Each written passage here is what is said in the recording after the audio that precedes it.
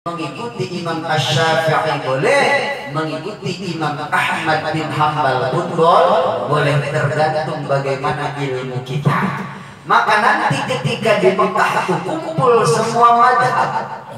Makanya jangan aneh ketika kita sholat di Mekah itu. Kagak ada etika sholat di Mekah. Kan injek injek aja.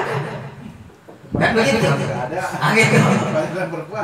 banyak perempuan. Kan gitu Nah kalau menurut madhab Imam Ash-Syafi'i ketika laki-laki bersentuhkan kulit dengan perempuan maka hukum batal tetapi di dalam madhab Imam Malik maka tidak batal bersentuhkan laki-laki dengan perempuan. Maka boleh di dalam pelaksanaan ibadah haji seperti kita sedang tawaf taklid kepada Imam Malik Artinya sekalipun kita bersentuhkan tangan dengan perempuan maka haji kita tidak batal, wudhu kita tidak batal. Karena syarat tawaf harus suci, harus punya wudhu.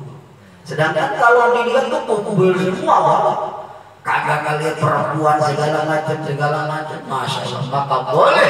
Di situ kita taklid kepada selain madhab Imam Ash-Syafi'i maka kita taklid kepada Imam Maliki yang mana Imam Maliki tidak bakal perempuan dan laki-laki nempel kulit selama itu tidak menimbulkan sahwat selama tidak menimbulkan? Ini ini Pak RT mau kebatal ini.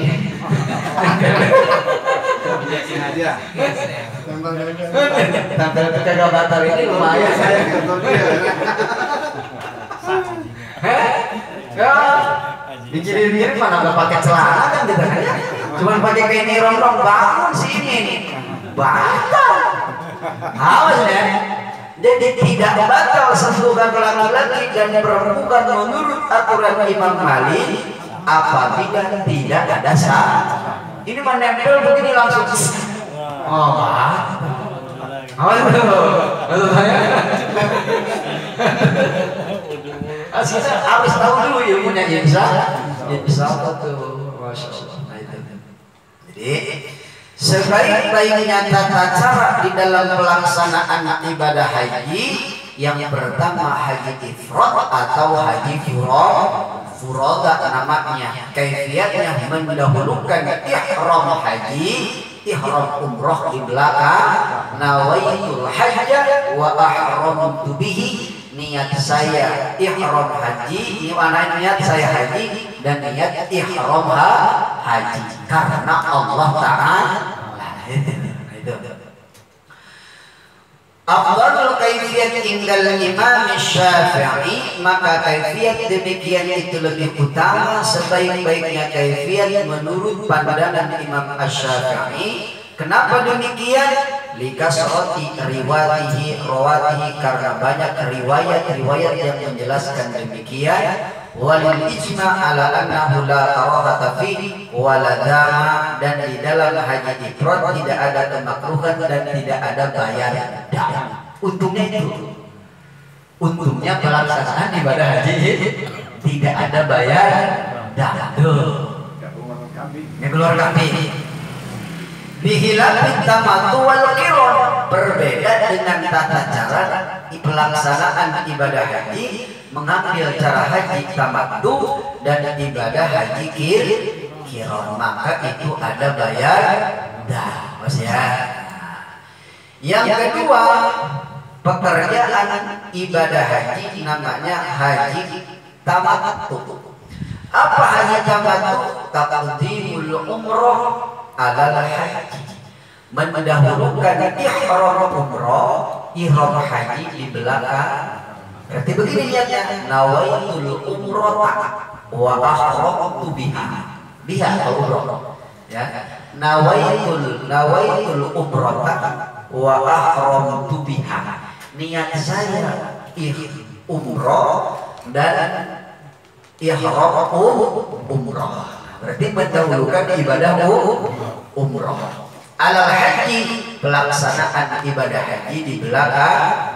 Nah, kalau ini wajibu alaihi adam bisyuruti arba'atin sata'ti fi tima'il haji.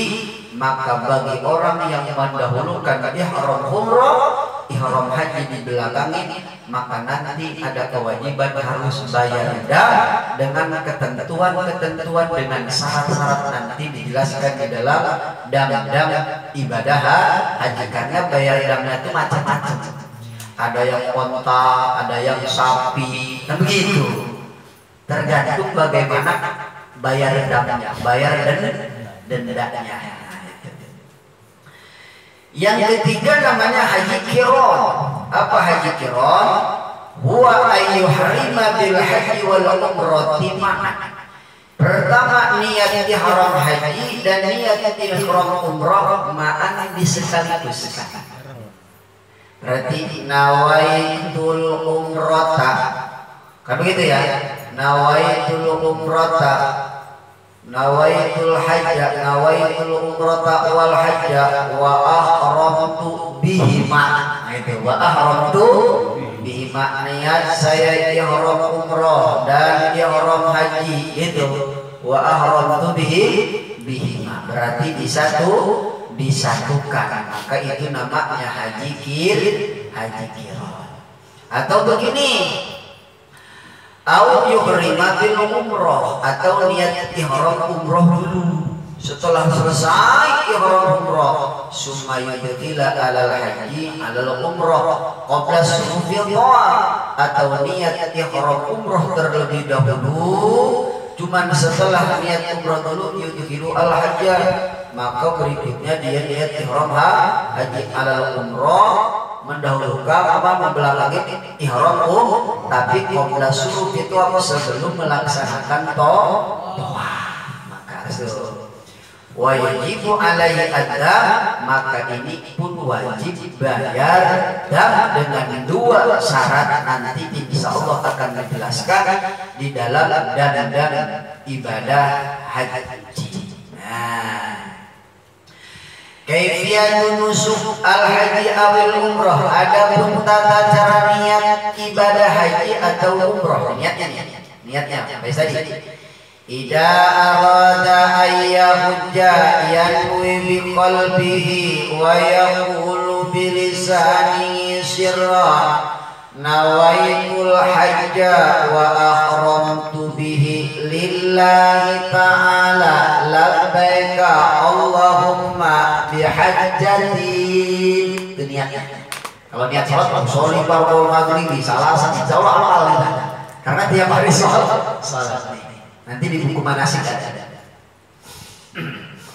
Nawaitul hajja Iza arada apabila kita bertujuan untuk melaksanakan ibadah haji yang bi qalbihi dianjurkan kita niat di qalbihi di dalam hati kita. Jadi haji ataupun sholat tetap tempat niat. Mah di dalam hati. Bukan niat salah ibadah haji. Bukan begitu. Itu mah bukan nih niat. Nah niat itu dalam hati. Wa yaqulu bilisani dan lisan berucap nawaitul hajja mulut mengucapkan nawaitul hajja hati niat ibadah haji dan ihram haji tidak jauh beda seperti dengan niat sholat. Itu di mikot niatnya tuh di mana pertama kita mau ihram. Ya kalau jejah ya jejah begitu aja ya. Kalau bir ali ya bir Nah, kalau tanjim ya tanjim, kalau apa namanya yulang yang bilang tergantung bagaimana tempatnya. Tempat kita niat dia ihram, ihram haji maupun ihram umroh begitu ya. Jadi nawaitul hajja wa ahramtu bihi lillahi ta'ala labbaika Allahumma bihajjati. Nah, itu niatnya nawaitul hajja wa ahramtu bihi apa kira-kira ini Nah, coba Bismillahirrahmanirrahim. Bismillahirrahmanirrahim. Nawaitul hajja. Nawaitul hajja. Wa ahramtu bihi. Wa ahramtu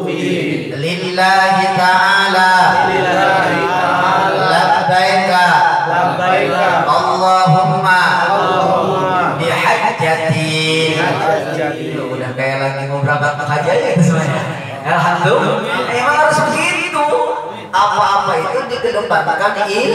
Siapa tahu tahun depan berangkat haji teh. Bener Kita nasib gak tahu teh bener gak? Betul gak? Wa huwa ala kulli syai'in mampu kata RT. Insya Allah tahun depan wajib kan gak tahu. Yang penting mau berangkat haji ilmunya kagak tahu. Repot juga nanti. Benar gak? Penting kita kaji ilmunya terlebih dahulu agar ibadah haji kita mampu menggugurkan kewajiban nanti ongkos haji kita mahal-mahal agak sia-sia. Alhamdulillah. Bismillahirrahmanirrahim. Bismillahirrahmanirrahim. Nawaitul hajja Nawaitul hajja wa ahramtu bihi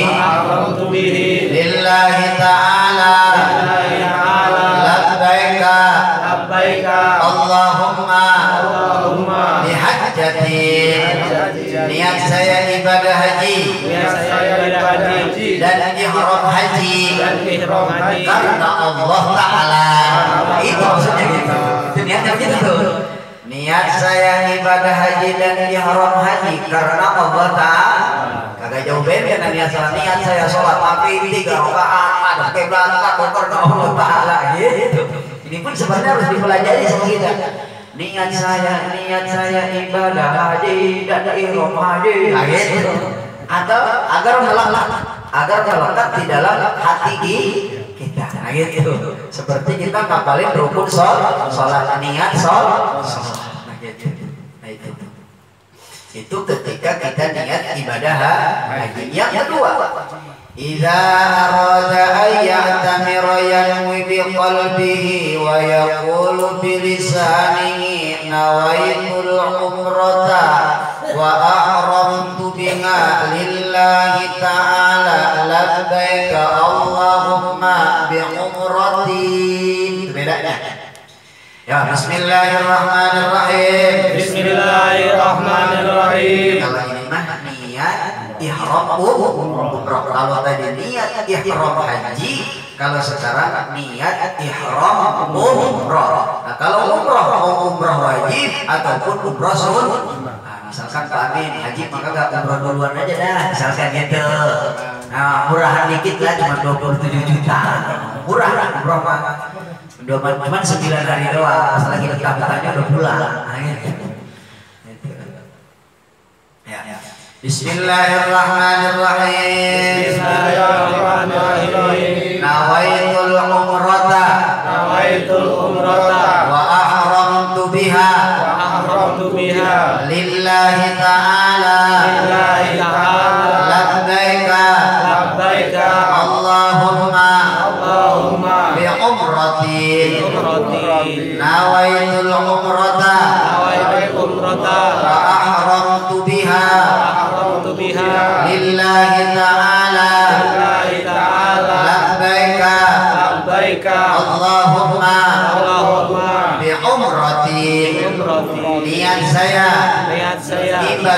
umroh. wa ahramtu biha. Dan ihram um umroh lillahi ta'ala. Gitu jadi niat ibadah umroh dan niat ihram um umroh nah itu itu ketika kita pelaksanaan ibadah um umrohnya baik di waktu haji ataupun di luar ha- haji. Niatnya mau begitu. Misalkan bulan depan kita mau ibadah um umroh. Itu karena yang punya travel kata paham ilmunya begini nah, karena urusnya bisnis mulu soalnya. Satu orang 10 juta untungnya nih. Mau apa apa mau apa apa Budak lah, yang penting mau gue ganti mobil. Untuk ini, iya harus bisa sebenarnya tanggung jawab itu travel. Ini tanggung jawab, tanggung jawab. Harus harus bisa ini. Dijelaskan dulu. Nah, itu. Yang ketiga, Idza arada an yahujja wa yatamira ma'an yanwi biqalbihi wa yaqulu bilisanihi Apabila kita bertujuan untuk ihram haji dan ihram umrah disatukan berarti niat di dalam hati kita dan mulut mengucapkan secara sir nawaitul hajja wal umrata wa ahramtu bihima lillahi ta'ala labbaika Allahumma bihajatin wa umratin. Berarti ini mah disatukan. Ya niat ihram haji niat ihram umrah. Maka hati mengucapkan demikian niat di dalam hati maka mulut mengucapkan Bismillahirrahmanirrahim. Bismillahirrahmanirrahim Nawaitul hajja wal umrata wal umrata wa ahramtu bihima bihima beda bihima kalau tadi bihi biha kalau haji doang bihi kalau umroh biha kalau dua-duanya bihima nah, itu nawaitul hajja Nawaitul hajja wal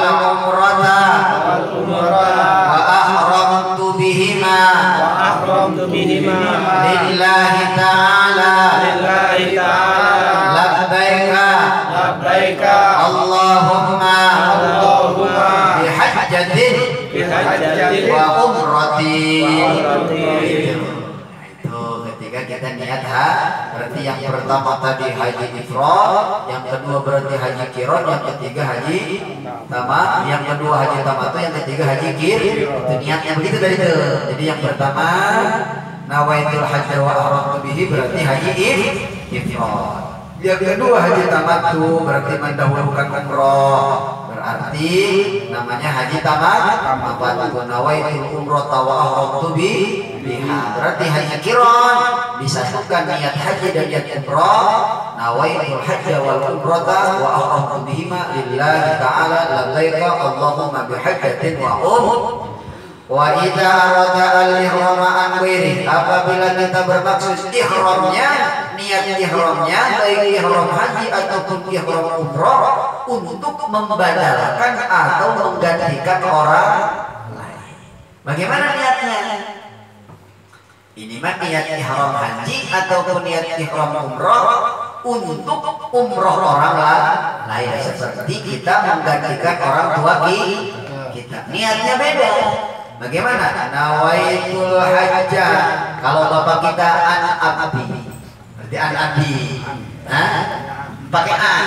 Anak abdi untuk bapak saya. Berarti kalau bagi ibu saya anak umi, ya, gitu ya. Nawaitul hajja an fulani wa ahramtu. Kalau untuk orang lain sebutkan aja.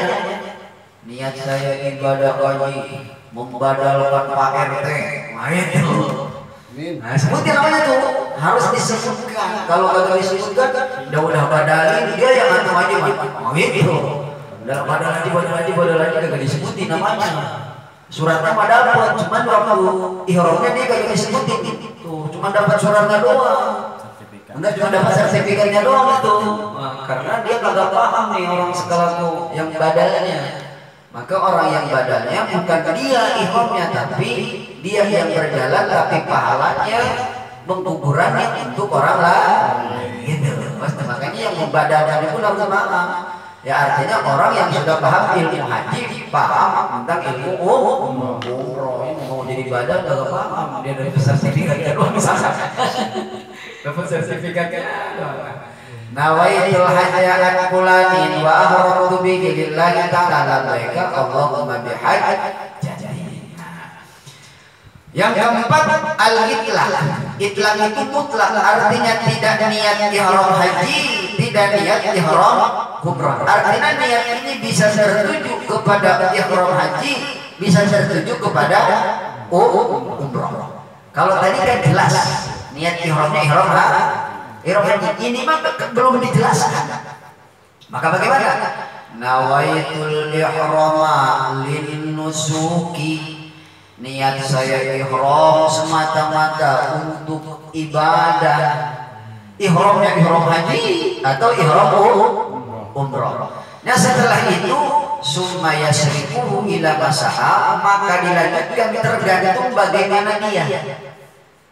Misalkan niat di, di kotnya begini, misalkan di jedahnya. Nawaitul ihrama lin nusuk. Udah niat begitu. Setelah berjalan, qabla suruh bin nusuk sebelum berjalan bin nusuk artinya sebelum toh tawaf. Jadi sebelum nyampe ke kota suci Mekah, baru dia ada perubahan. Nah, gua ihram haji aja. Nah, gitu tuh. Oh, gua ihram umroh aja. Nah, gitu. Itu namanya mut mutlak pilihan. Cuma syuru sebelum melaksanakan ibadah tawaf kudum. Tawaf kudum itu tawaf pertama kita dah datang namanya tawaf kudum. Ada tawaf ifadah ya. Nah, ada tawaf ifadah kalau tawaf kudum adalah kalau kayak sholat tahiyatul masjid sholat tahiyatul Nah, itu namanya tawaf kudum, sholat tawaf penghormatan karena pertama kita datang ke Baitul Baitullah namanya tawaf kudum. Kalau kita ibadah sholat ke masjid seperti sholat tahiyatul masjid itu. Nah, itu namanya tawaf kudum, tawaf kudum. Jadi niatnya ini mah dia di tempat mikotnya di tempat niat ihramnya tidak ditentukan haji atau niat ihram aja atau niat ihram oh pokoknya niat saya ihram untuk ibadah gitu. Nah belum nyampe ke kota suci Mekah, rubah niatnya. Nah gua mau ihram aja aja dah. Nah gua mau ihram umroh aja dah. Nah gitu seperti itu. Berarti kalau ihram haji, berarti nanti larinya ke haji ifram. Nah karena mendahulukan ha haji. Boleh ihram umroh aja. Berarti nantinya berarti haji tamat tamat. Oh kata saya langsung aja dulu mah ihramnya ini ihram haji ihram umroh. Berarti nanti jatuhnya kepada haji kir.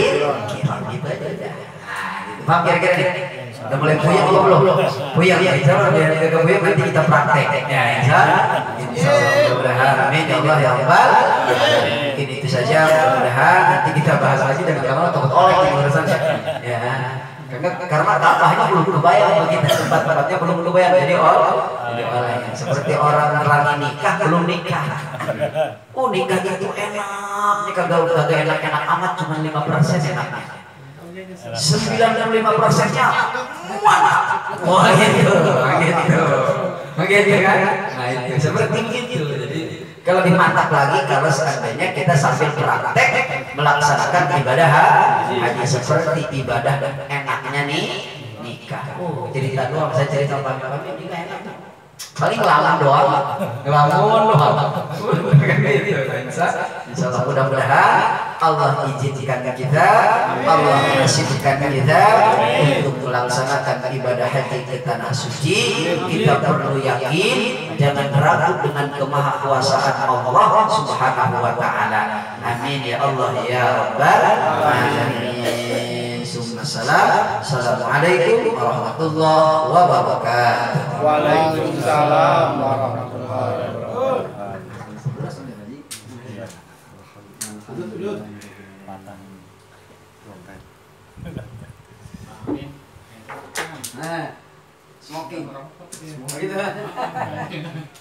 Gitu. Muhammadiyah aja punya madhab juga tentang rokok. Oh. Gak paham betul. Saya dua-duanya pak. Nusuk, berarti nusuk nih. Kalau dia aja nusuk. Iya. Madhabnya Maliki dan apa namanya Syafi'i dan Karena apa?